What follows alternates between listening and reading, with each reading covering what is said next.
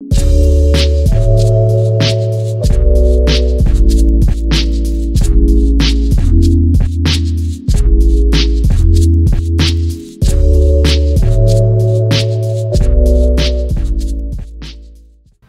going on guys and welcome to another Reputized video. Miss Bala stars Gina Rodriguez and it's all about this girl, this pageant makeup effects artist who gets dragged into this world of crime by going to this club in Mexico with a friend and these guys start shooting up the place. She starts getting roped into all this mess between the drug cartels and the DEA and she loses her friend so she tries to you know find her.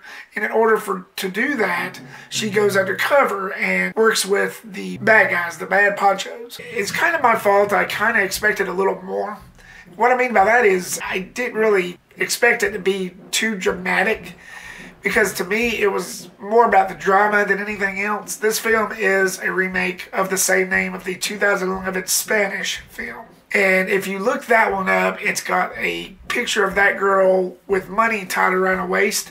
And there's a scene in that movie where they imitate that. I've never seen the 2011 original.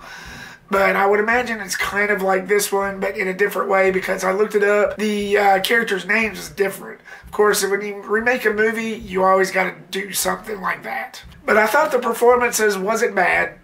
Although I didn't feel like there was that much of a character build-up. But other than that, once the movie started getting going, I really got into Gina Rodriguez. I thought she was really beautiful. She was cunning. I fell in love, pretty much. Like I said, I've never seen the original, so if I'd have seen that one, then I probably would have knew what to expect. This what tells me all the time that trailers can be deceiving. Again, I didn't have a problem completely with it. I got what the story was trying to say, which wasn't that much. It wasn't a big nuclear blast of a story that you would get in films of this magnitude. But it was watered down a little bit. It wasn't bad. It wasn't that bad. But like I said, the performances and the villain in this, I thought he was okay. He was a little bit too much of a pretty boy for him to be a villain, like a villain villain.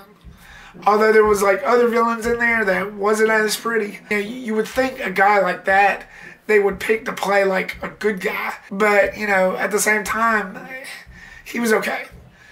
But basically, it's just about this girl trying to find her friend and then her finding out that there's corrupt cops also. Now, like this whole movie, except for like the first five minutes, happens in Mexico.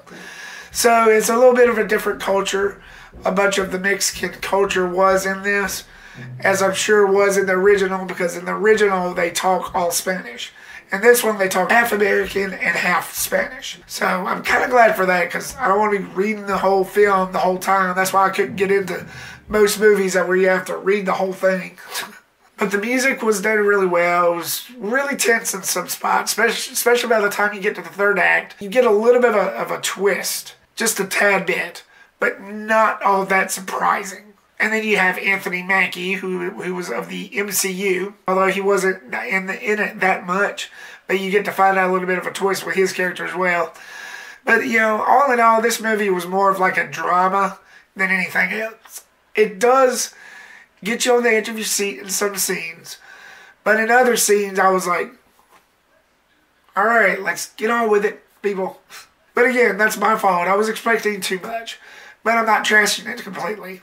Catherine Hardwicke, who is responsible for the Twilight series, the Nativity story, Red Riding Hood, and so on, she did a pretty fair job. She tried. Like I said, it's it's a pretty good film to watch maybe once at a matinee or on DirecTV or if you have a Fire Stick. I wouldn't put it down completely. It's still a pretty good film for what it was. Miss Bala gets a C. Thank you so much, guys, for watching this video. I really do appreciate it. Like, subscribe, get reputized, share, help this channel grow. Stay tuned for more videos coming soon. An unboxing video will take place next. Peace, rip outs.